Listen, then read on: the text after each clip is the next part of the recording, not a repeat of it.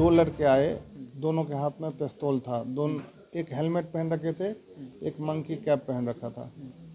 और वो मेरे से बोला, जब पैसे निकालो फटाफट नहीं तो गोली चलाऊँगा। वो गोली चलाने की कोशिश कर रहा था। मैंने कहा कि भाई, पैसे नहीं है मेरे पास। बोला नहीं, फटाफट पैसे निकालो, नहीं तो गोली चला दूँगा। फिर मेरी जेब में जो पैसे थे, वो मैंने उसको निकाल के दे दिया।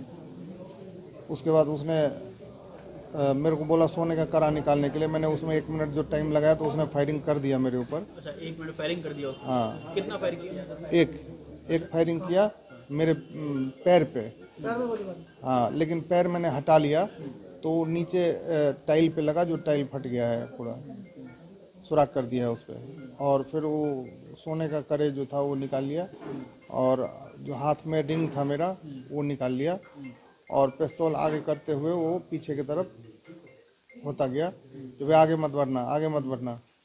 और फिर वो यहाँ से भाग गया। कितने लोग मौजूद थे उस वक्त? उस टाइम पाँच लोग थे हम। और कितने बदमाश थे? दो। दोनों के हाथ में हथियार दोनों के हाथ में हथियार था। हम अपने आप को घर में भी सेफ़ नहीं समझते हैं कि अगर साढ़े सात बजे दिन है अगर दिन में ये वारदात हो रही है तो इंसान काम कैसे कर सकता है? घर में रह नहीं सकता। हम सरकार इसलिए चुन के नहीं देते हैं कि हमारे से तुम लूटपाट करके ले जाओ। सरकार रोज़गार दे बेरोज ये लूटपाट कम होंगे। और सरकार से हम सुरक्षा की मांग करते हैं। आज हम इतना टैक्स भरते हैं और हमारे टैक्स पे सरकार चलती है। हम इसलिए टैक्स नहीं भरते हैं कि साढ़े सात बजे हमारे से दो लाख रुपए लूट के ले जाए। हम महीने कमाते हैं तो हमारे पास दो लाख रुपए नहीं होते। अगर मुझे सरकार ये दे सकती है तो दे। हम सरकार से उम्मीद करते हैं। कितना वक्त हुआ शोरूम को खोले हुए? इस शोरूम को खोले हुए दस साल हो गए।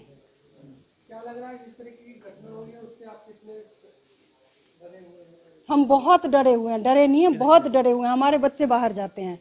हम अपने बच्चों को कितना सेफ़ समझें? बच्चे को घर तो नहीं बिठा सकते ना? हमारे बच्चे पढ़ने वाले हैं, जब तक घर नहीं आते तो हम ये समझते हैं कि हमारे बच्चे की पुनर्जिंदगी मिली है।